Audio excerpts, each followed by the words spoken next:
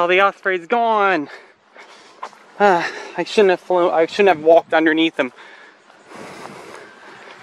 Now I don't know where he went. Uh, I'm sorry.